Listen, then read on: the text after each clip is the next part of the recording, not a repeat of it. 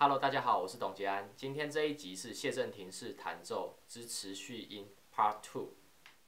在这一集，我会介绍他在这一首歌里面所使用持续音的弹奏概念。一样，我会介绍一下他原本的按法，以及他是如何从原本的按法进化成持续音的按法。这首歌曲其实很简单，它只有四个和弦。第一个和弦，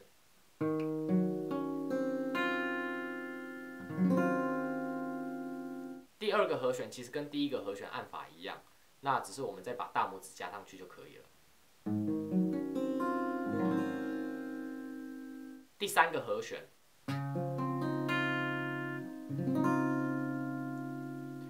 第四个和弦。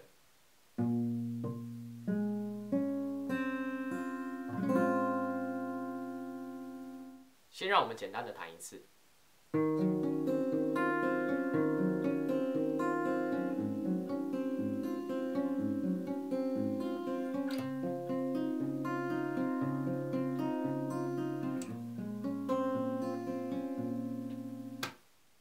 这首歌它所弹奏的是升 C 调，那么我们加了第一个格子以后，这边的音阶会长这个样子。那么后面一样会有其他把位，各个不同把位的音阶。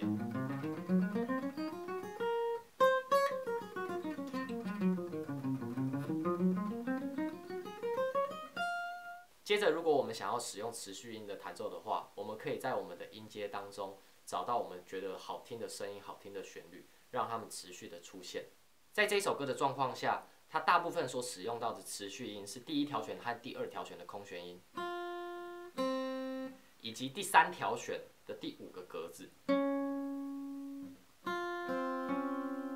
我们可以特别注意到一下第二条弦还有第三条弦的声音，你会发现这两个音它们其实是差了一个半音，这个是还蛮有趣的一个声音，它会有一种非常纠结的感觉。虽然说大部分的人会说这种二度、小二度、大二度的音程会是不好听的，可是其实有的时候在和弦的弹奏状况当中，它会出现还蛮特别，然后还蛮有趣的声响，是我个人还蛮喜欢的。那么为什么说这三个音是大部分所使用的持续音呢？因为这三个音只出现了三个和弦，这首歌有四个和弦，它只出现了三个。第一个，第二个。第三个，接着你会发现到第三个和弦，它就没有使用到这三个音了。它第二条弦反而按了第三个格子，第三条弦反而按了第四个格子。这个例子可以让我们知道一件很简单的事情，那就是如果你的感觉有想要换音，我不想要再持续的再弹这三个音，我想要换的时候，拜托，你的感觉已经告诉你要换了，所以你就换过去吧，就找到其他你觉得好听的声音，你觉得它该换了，你就换。OK，然后接着第四个和弦，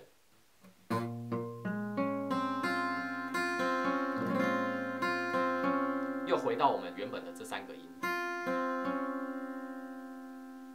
所以这首歌在弹奏的时候，你其实可以特别注意一下第三个和弦，从原本一直持续的声音，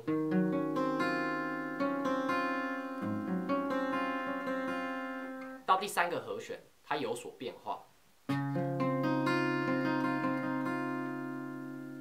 那个感受其实是会不一样的，跟你持续一直故意让它出现这三个音，那个感受是会不一样的。接着我们来看一下它和弦进化的过程。第一个和弦原本的按法，第一条弦、第二条弦放空弦音，第三条弦原本就在第五个格子，所以第三条弦不用动。那么我们这时候可以稍微换一下指法，会让我们按的轻松一点。二个和弦原本的按法，第一条弦、第二条弦放空弦音，第三条弦原本按第四个格子，我们现在要让它到第五个格子。然后你会看到我的按法其实有点跟之前有点不太一样。谢振廷他是这样按，他就是照着第一个按法，然后大拇指再扣到第五、第六条弦，sorry。啊，有的时候我会习惯这个样子按，食指直接按第六弦，还有第四弦。第三个和弦，第二条弦到第五条弦，原本就是一个非常常见的 C major nine 的一个按法。那么第一条弦原本也就是它和弦的组成音，所以原本也就可以使用。第四个和弦原本的按法，第一条弦、第二条弦放空弦音，那第三条弦原本就在第五个格子了。那只是会有一个问题，第五条弦这个音会有一点远，会让我们有点难按。所以大部分比较普遍的做法是，我们就会放弃这第五条弦。所以在按的时候，中指按第六条弦，第五条弦就中指直接把它挡住，它就不会有声音。然后接着无名指、小拇指按第四、第五、第四、第三弦，一二弦空弦音。接着让我们来比较一下各种不同和弦的按法，它所出现的效果会是怎么样子。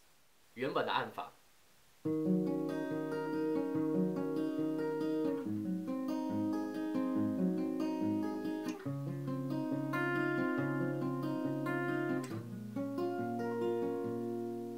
接着第二个弹法，我们来试一下。我们如果把第三个和弦，第一条弦、第二条弦也放成空弦音，第三条弦也按到第五个，然后所以整首歌的持续音就会变成全部都一样。那它听起来会是长怎么样子？